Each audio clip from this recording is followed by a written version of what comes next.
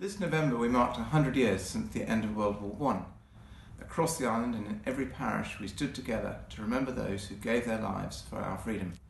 And the heartstone of the Gilmore Memorial is now in the Royal Court entrance, symbolising the homecoming of our soldiers.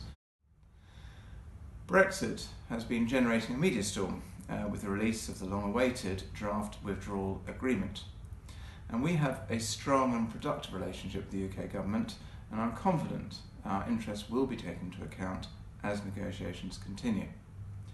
The External Relations team continues to speak to the UK Government and is working hard to prepare for any deal that emerges.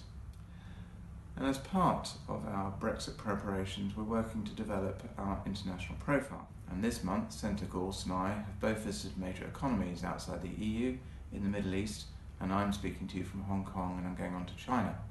Our ties with jurisdictions across the globe will help us to ensure to the growth in the economy for future generations.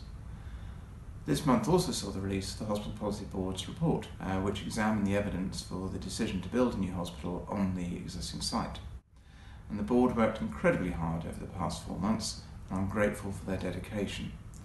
The Council Ministers will now discuss the report's findings, and the issue will be debated in the States Assembly early next year. And earlier this month, we held our first statewide Staff Awards event where we celebrated the achievements of individuals and teams across government. And it's important to recognise those who go above and beyond what's expected. And I'd like to congratulate those um, who are A, the nominees, and B, the winners of these inaugural awards. And I'd like to end by remembering Deputy Richard Rondel, who sadly died uh, last week after a long illness.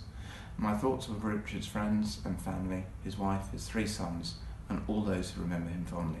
Richard served the island and his parish with genuine compassion and will, will be much missed by all of us. Rest in peace, Richard.